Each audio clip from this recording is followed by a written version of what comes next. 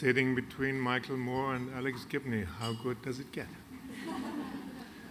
and being in a room with Tabitha and Orlando, Elizabeth, Jimmy, and seeing you all, it's like looking at the United Nations of the documentary film world. And I'm just your German ambassador,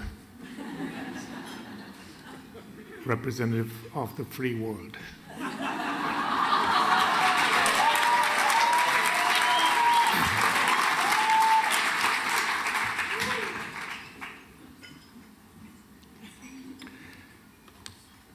I was a little sad in between, realizing that I was way past the mid career awards.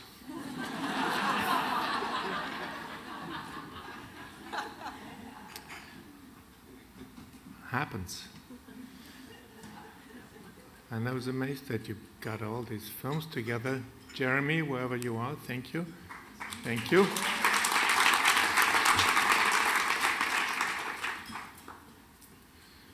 Lifetime achievement. Maybe that's why I'm getting more confused. As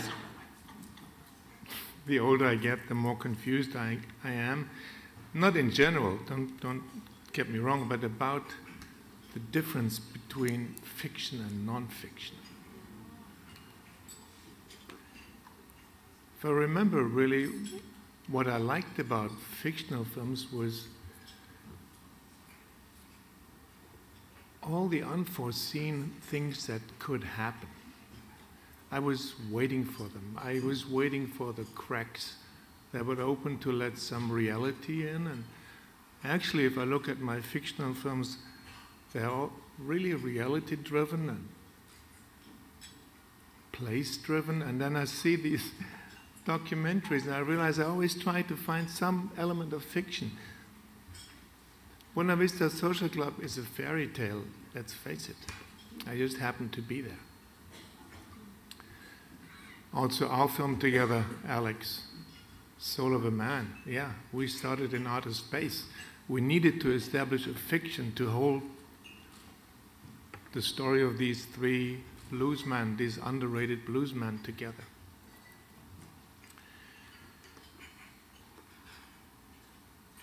I'm happy that I'm here to show tonight Pope Francis, a man of his word, because it is strangely more than a movie to me. It dawned on me while we were making it, it took almost five years. It dawned on me because the world had changed in these five years. And when I took on the job, it was a different world. And yes, making a film with Pope Francis would be fantastic. And then slowly the world changed, and all of a sudden, the man in front of my camera was a moral compass for the world because all the other authorities had disappeared.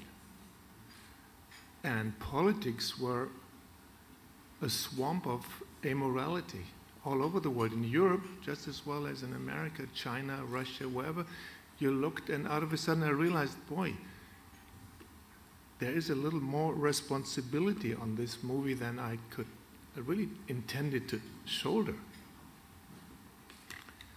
I had sleepless nights because these few people who knew about the film at the Vatican, basically the Vatican didn't know that we were making the film, we we shot it under the radar.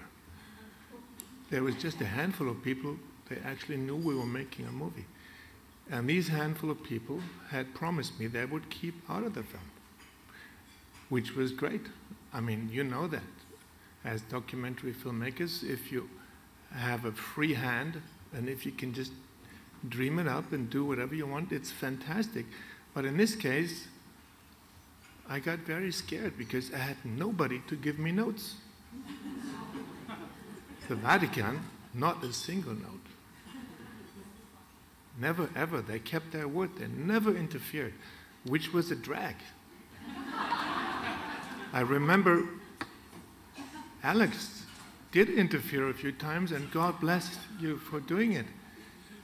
well, sometimes it was because we ran out of money, but